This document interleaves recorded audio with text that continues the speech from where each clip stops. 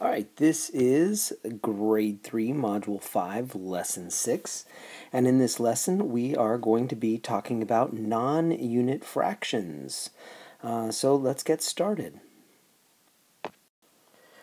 So we're going to do a little bit of review first. We've got our fraction, good old 3 fifths. Now, this is a non unit fraction. And what's the denominator? So, as Parents and teachers, your task is to remind students of the meaning of fractions as often as you can. This denominator, what does the 5 mean? It means, and usually I, I talk about this denominator before I talk about the numerator. I don't know why. It just makes sense to me. But anyway, so what's the denominator? It's the number of equal parts that the whole has been cut into. So this fraction means the whole has been cut into five pieces. And what does that numerator, what does that 3 mean? Well, it means the number of equal parts that are being highlighted or shaded or maybe that's how many pieces we ate. It's it's the num it's the whoa, it's the number of equal parts that are being highlighted in some way. So here, the directions say complete the number sentence and estimate to partition each strip equally. So estimate means we're going to try and cut things into equal pieces, but we're not going to be totally perfect. Teachers, parents, please don't give your kids rulers. It's just not that important. Let them estimate when they're cutting things into equal parts. And then write the unit fraction inside each unit. And, uh, and then shade the answer. So for example, what we can see here is we can see that we've got 3 fourths right here. So it's been cut into four equal sized pieces. We've labeled each of them as a quarter. We've shaded it in and we wrote it as a fraction. Okay, so that's what we're going to do. Oh, let's do a couple of these. We won't do all of them. Let's do 2 thirds. So 2 thirds, let's see. Well, we're going to begin by cutting it into roughly three equal parts, and that is not very equal. I don't think I did a particularly good job, but you know what? The idea is leave it. It's okay as long as it's relatively close. And then so I labeled it. There's my one third, one third, and one third. And then we should write it over here because it says two thirds. Now they say they want us to shade it in.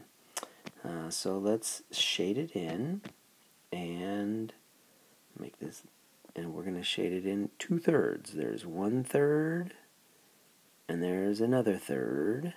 So we've shaded in two thirds. And so there you go with that problem. You know, let's um, let's skip down and let's do oh, let's do 3 fifths. So, what does this mean? Well, 3 fifths, oopsies, I don't want big old, that's too thick. Let's do this one. Okay, 3 fifths. So what does that 5 mean? That 5 means we're going to have 5 equal sized pieces, and each one of those is a fifth. So I'm going to label those a fifth. All right? And then, because the numerator is a 3, that means we need to shade in three of them. So 1, 2, 3, and there is our answer for 3 fifths.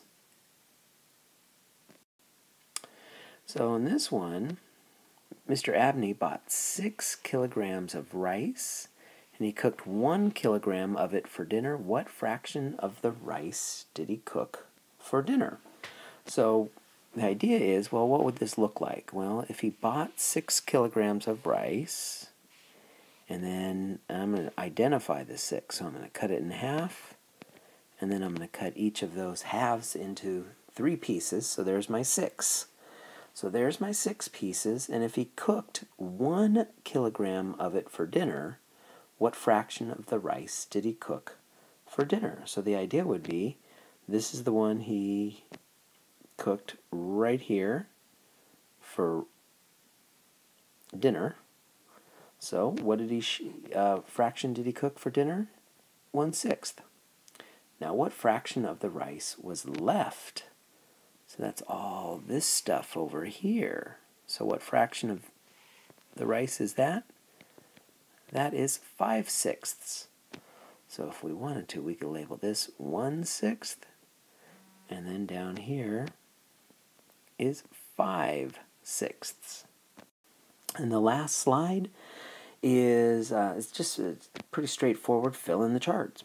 Okay, so filling in the chart it says the total number of equal parts. So if we're going to do this part A here, uh, what are the total number of equal parts? Well, there's four of them. One, two, three, and four. Now, what's the total number number of equal of shaded equal parts? Well, we can see that's three. Three of those parts have been shaded in. So the unit fraction is one fourth because these are quarters.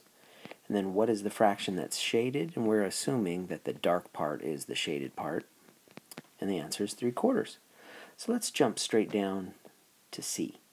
All right, so first off, what's the total number of equal parts? 1, 2, 3, 4, 5, 6, 7. All right, what's the total number of shaded equal parts? And we've got 1, 2, 3, 4. So it's going to be 4.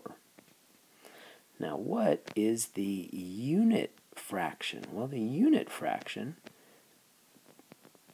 are sevenths. It's one seventh. And what fraction has been shaded? One, two, three, four. So four out of the seven, or four sevenths, has been shaded. And that wraps up Grade 3, Module 5, Lesson 6, where students are now building non unit fractions by combining a whole bunch of unit fractions together.